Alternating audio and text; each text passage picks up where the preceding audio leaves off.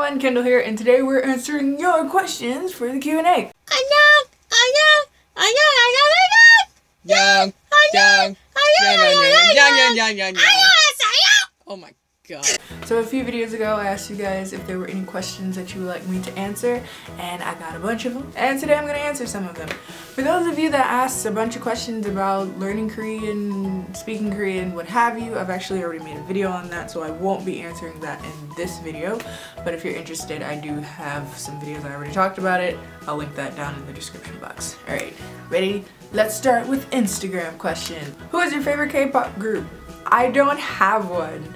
So the thing is, I'm not a huge K-pop band person.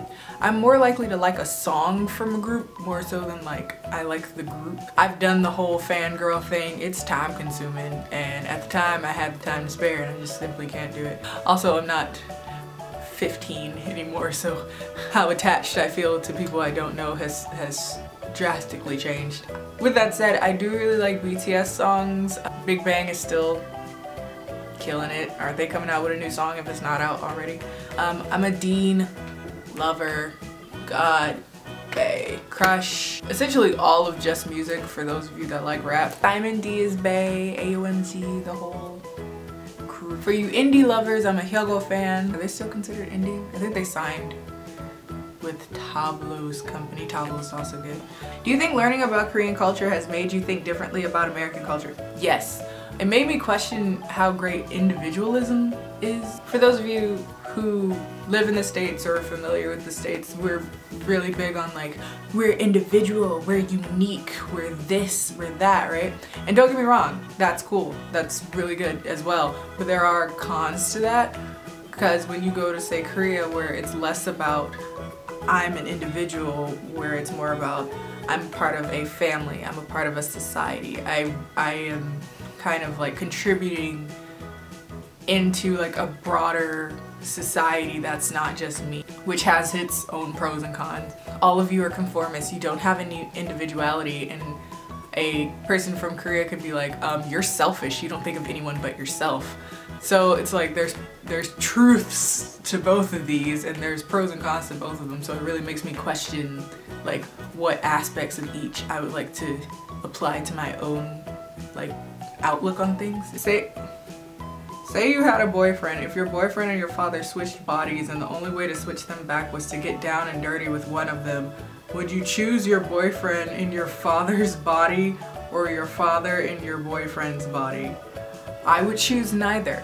They would just have to stay the way they are. And then I'd break up with my boyfriend because that's creepy.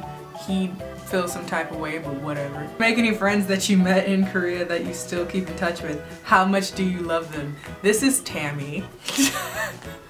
Hi Tammy, how are you? Yes I do, and I love you very much.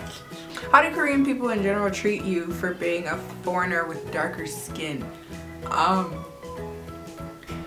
don't know if I'm the best person to ask about this, to be honest. If you've noticed, I've never done like a video on being black in Korea because I don't, I'm not sure I'm the best person to comment on that considering, as you may have noticed, a lot of people don't know if I'm black or not. so actually in Korea, I got a lot of, is your mother Korean?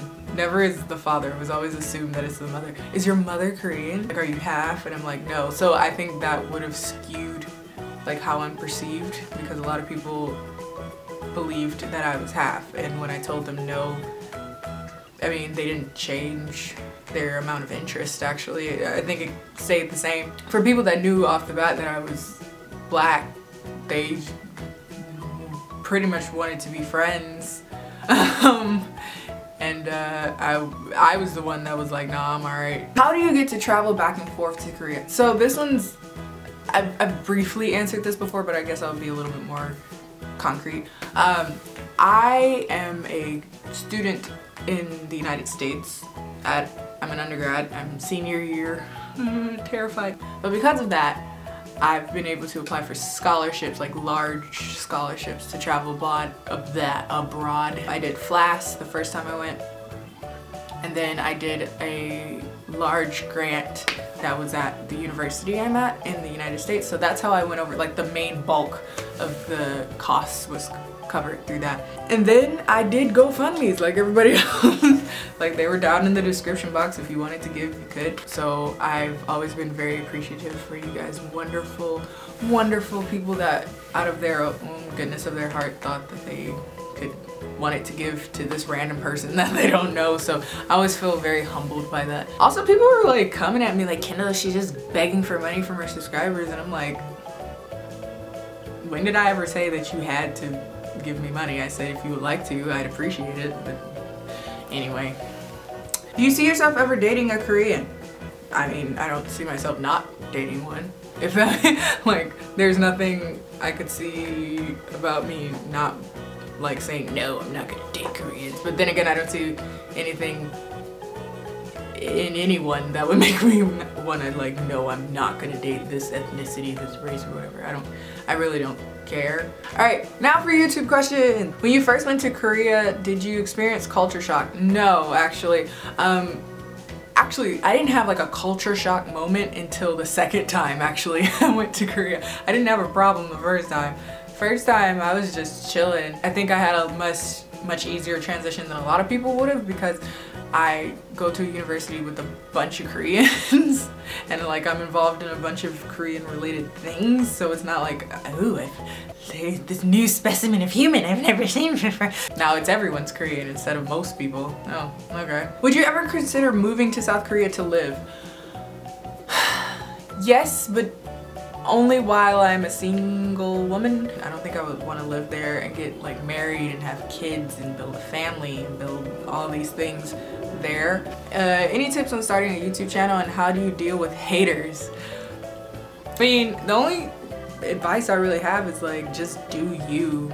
Like don't try to be anybody else because what happens is people can tell. It's very, it's very obvious. People are gonna call you out on it. So it's like, it's just easier to just you know, relax. And as far as haters go,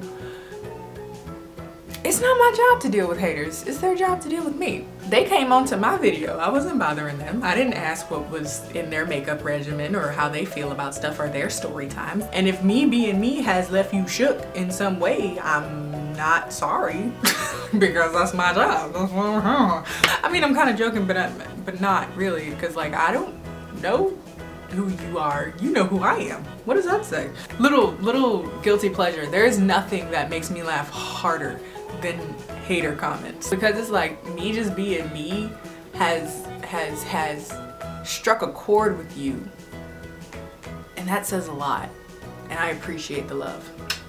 Alright, so that's all the questions and answers for today. If you guys have any more questions, as always, don't forget to leave them down in the comment section. So yes, Alright, I'll see you guys next time. Bye.